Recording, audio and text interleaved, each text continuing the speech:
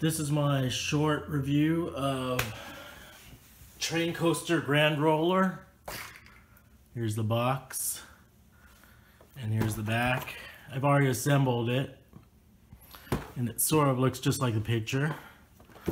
Uh, it takes three AAA batteries.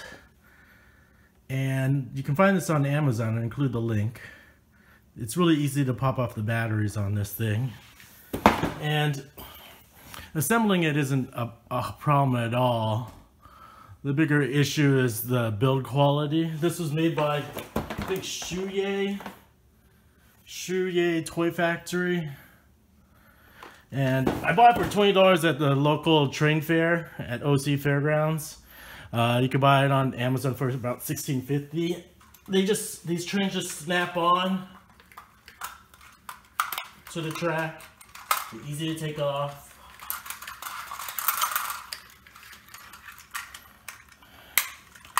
And so if you want to replace the battery, it's just a matter of pulling off these tabs over here and it gives access to the batteries. And so it's super easy. There's just one small tiny screw. So again, it's held on by these black tabs. One thing I'll show you is how it'll fall off. And you can see I'm pulling these uh, black rails or tabs out a little bit to show you a common problem with this toy. So let's see if I can put it on. So the toy itself is inexpensive and I don't think you should expect much in, in terms of build quality. Uh, it doesn't stand on well onto the ground. You can see that it's kind of loose and flimsy. Still though, um, sometimes the parts will come loose and you have to fix it. So it's a, a noisy toy actually. Let's see, turn it on on the side over here.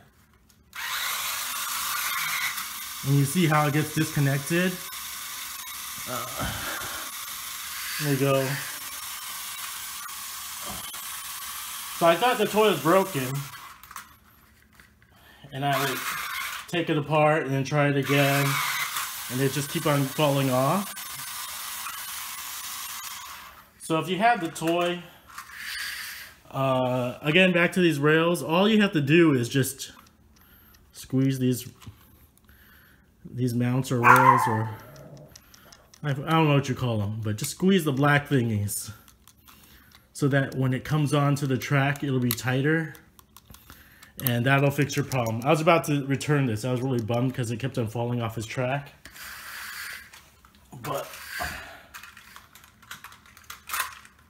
I did that. While it's on, you can try squeezing the thing again. And so let me put this to the side.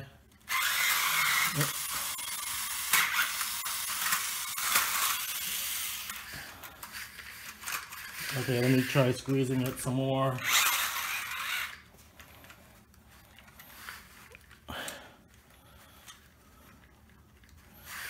So all I'm doing is just squeezing these two together. Hopefully that fixes the problem.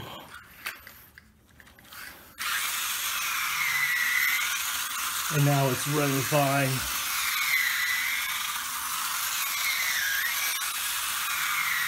It's not falling off anymore after I squeezed it. And you can see over it, the piece fell off. If you take it apart, it's most likely it might break. And so it's a pretty fragile toy set. Just be careful if you're going to take it apart because the tabs, these are held together by two tabs. There's one going across here and those break really easily. And then there's the tabs over here. Those don't break, but I can imagine uh, one section of my thing over here, I've already had to glue back together, so hopefully this video was a little helpful. I forgot to I forgot to mention one last thing that this toy lasts about 10 to 20 minutes with cheap batteries. I got my batteries, the double A's from a 99 cent store and it lasts long enough. So anywhere from 10 to 15 minutes, 10 to 20 minutes.